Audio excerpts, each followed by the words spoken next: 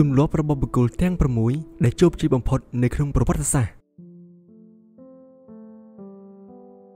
ភាពជោគជ័យបានកើតមានឡើងលើមនុស្សគ្រប់គ្រប់គ្នាប៉ុន្តែរបៀបនៃការទទួលបាននូវភាពជោគជ័យគឺវាមានភាពខុសគ្នាដែលពេលខ្លះស្ទើរតែខុសគ្នាទាំងស្រុងខាងក្រោមនេះជាទម្លាប់នៃបុគ្គលជោគជ័យជាងគេនៅលើលោកដែលពួកគេជឿជាក់ថាទម្លាប់ទាំងអស់នេះហើយដែលធ្វើឲ្យពួកគេទទួលបានភាពជោគជ័យ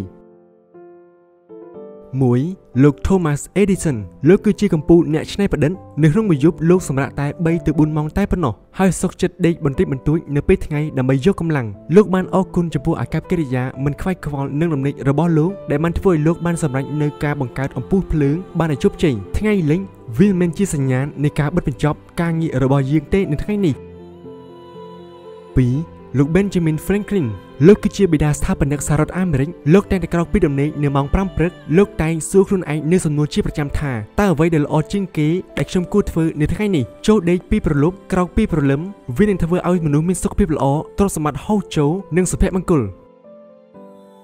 3លោក Steve Jobs លោកគឺជាបិតាស្ថាបនិកនៃក្រុមហ៊ុន Apple លោកតែងតែក្រោកពីរំលែកនៅម៉ោង6ព្រឹកនិងតែងតែដើរទៅមុខកញ្ចក់និងសួរខ្លួនឯងពីដំណងប្រាថ្នារបស់លោកនៅថ្ងៃនេះប្រសិនបើថ្ងៃនេះជាថ្ងៃចុងក្រោយនៃជីវិតរបស់ខ្ញុំតើអ្វីដែលខ្ញុំនឹងត្រូវធ្វើនៅថ្ងៃនេះ4លោក Warren Buffett លោកគឺជាអ្នកវិនិយោគដ៏ជោគជ័យបំផុតមួយនៅក្នុងលោកលោកតែងតែក្រោកពីដំណេកនៅម៉ោង6:45នាទីព្រឹកហើយលោកតែងតែអានកាសែតយ៉ាងតិច6ក្រោយពីភ្ញាក់ពីដំណេកខ្ញុំអានច្រើនជាង500ទំព័រជារៀងរាល់ថ្ងៃដែលនេះជារបៀបនៃការកសាងចំណេះដឹង ដែលវាហាក់ដូចជាការប្រមូលយកប្រាក់ចំណេញដូចនេះដែរ5លោក Mark Zuckerberg